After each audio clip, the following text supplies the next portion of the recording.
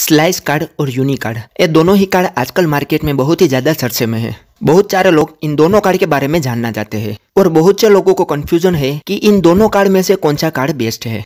तो आज के वीडियो में हम इन दोनों कार्ड के कंपैरिजन जानेंगे कि इन दोनों कार्ड में से कौन सा कार्ड बेस्ट है। इन दोनों कार्ड की खूबियाँ, इनकी खामियाँ, इन दोनों कार्ड में क्या क्या बेनिफिट मिलता है और इन दोनों कार्ड में से आपको कौन सा कार्ड लेना चाहिए? ऐसी इन कार्डों के बारे में सारी जानकारी आज के वीडियो में हम प्रोवाइड करेंगे। तो ये वीडियो को अंत तक ज़रूर देखना। सो नमस्कार दोस्तों, जगू ज्ञान में आपका एक बार फिर से स्वागत है। दोस्तों, ये वीडियो पसंद आए तो एक लाइक ज़रूर कर देना और अगर आप हमारी चैनल में नए हैं तो चैनल को सब्सक्राइब कर दो और बेल आइकन दबाकर ऑल नोटिफिकेशन ऑन कर दो, जिससे हमारे हर आने वाली इसी तरह की नई वीडियो की नोटिफिकेशन सबसे पहले आपको मिलती रहे। तो चलिए दोस्तों, वीडियो को शुरू करते हैं।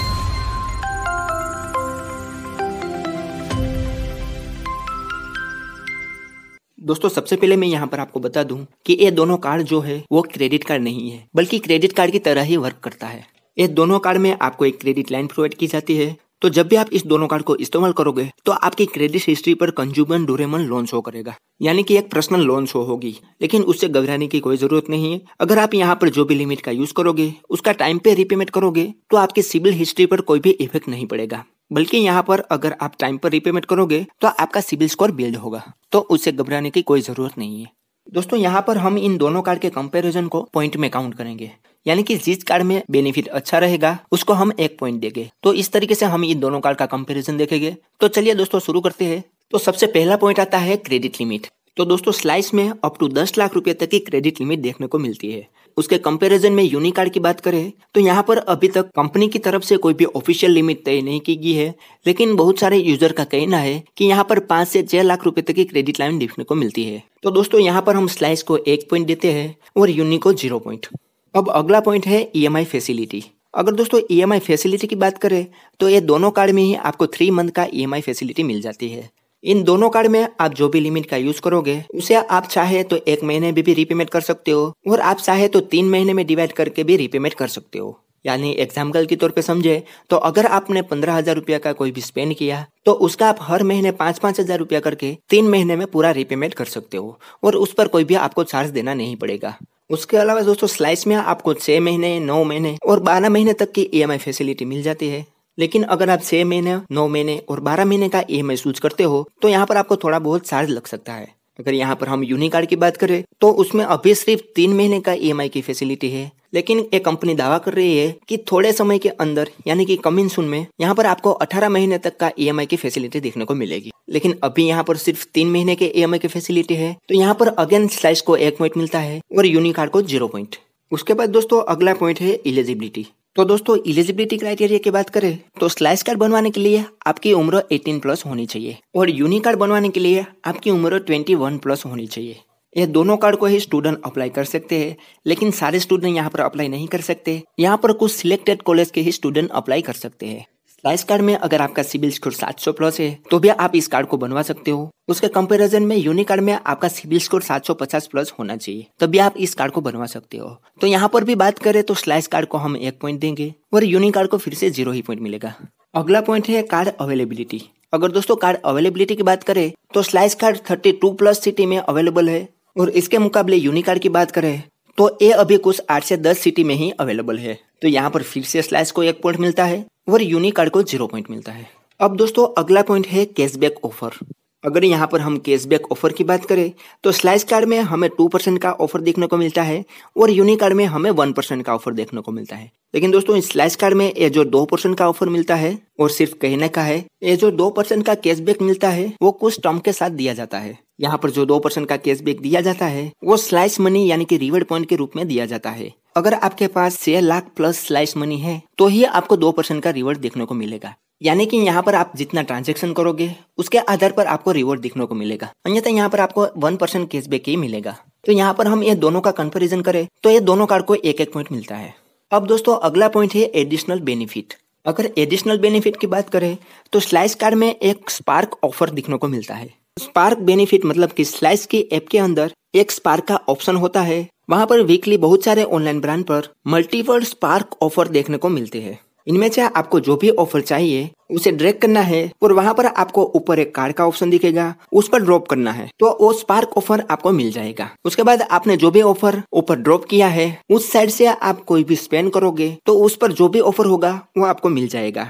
पार्क ऑफ़र में आपको पचास रुपया, सौ रूपया five hundred rupees seven five hundred rupees ten percent twenty percent और फिफ्टी परसेंट तक का ऑफ़र देखने को मिल जाता है। और यूनिक कार्ड की बात करें तो इस तरीके का कोई भी ऑफ़र यहाँ पर आपको देखने को नहीं मिलेगा। तो फिर से दोस्तों, यहाँ पर स्लाइस को एक पॉइंट मिलता है और यूनिक कार्ड को ज़ीरो पॉइंट मिलता है। अब दोस्तों, अगला पॉइंट है बैंक ट्रांसफ़र तो दोस्तों बैंक ट्रांसफ़र की बात करें तो स्लाइस में आपको जो भी लिमिट मिलेगी, उसे आप अपने बैंक में ट्रांसफ़र कर सकते हो। उसके कंपैरिजन में यूनिकार्ड में ये फैसिलिटी आपको देखने को नहीं मिलती। यूनिकार्ड की लिमिट को आप अपने बैंक में ट्रांसफ़र नहीं कर सकते।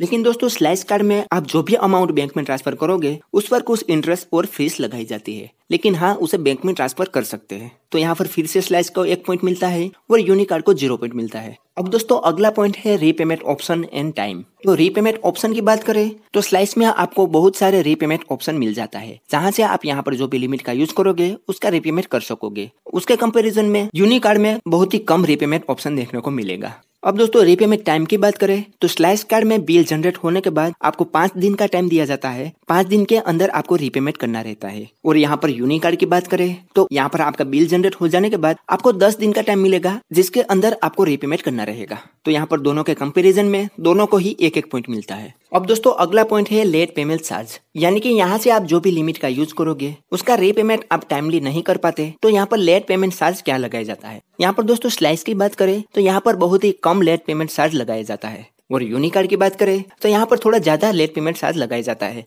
आप दोनों का चार्ज स्क्रीन में देख सकते हो, उतना लेट पेमेंट चार्ज यहाँ पर लगाया जाता है। तो यहाँ पर फिक्स स्लाइस को एक पॉइंट मिलता है और यूनिकार्ड को ज़ीरो पॉइंट मिलता है। अगला पॉइंट है रेफरल प्रोग्राम अगर तो, तो रेफरल प्रोग्राम की बात करें तो स्लाइस में बहुत समय पहले से एक रेफरल प्रोग्राम चल रहा है जिसमें आप अगर किसी को एक कार्ड बनवाने के लिए रेफर करते हो तो आपको भी तीन सौ रूपया मिलेंगे और सामने वालों को भी तीन सौ रूपया मिलेंगे। लेकिन उसमें कुछ टर्म्स एंड कंडीशन है कि सामने वाला जब एक कार्ड को अप्रूव करा के फ़र्स्ट हंड्रेड रुपया का स्पेंड करेगा तभी आप दोनों को तीन सौ तीन सौ रुपया मिलेगा। लेकिन यूनिक कार्ड में ऐसा कोई भी ऑफ़र अभी नहीं है। तो यहाँ पर फिर से स्लाइस को एक पॉइंट मिलता है और यूनिक कार्ड को ज़ीरो पॉइंट मिलता है। अब दोस्तों लास्ट पॉइंट है ऐप एक्सपीरियंस तो ऐप एक्सपीरियंस की बात करें तो ये दोनों ही ऐप आपको आईओएस और एंड्रॉइड में दिखने को मिल जाती है। आप दोनों जगह से इस एप्लीकेशन को डाउनलोड कर सकते हो। लाइस एप्लीकेशन की बात करें तो ये काफ़ी लंबे समय से मार्केट में अवेलेबल है। इसीलिए काफ़ी अपडेट के बाद इसका ऐप एक्सपीरियंस बहुत ही अच्छा हो गया है। स्लाइस के ऐप में आपको कोई भी ग्लेसिस या लेक देखने को नहीं मिलेगा।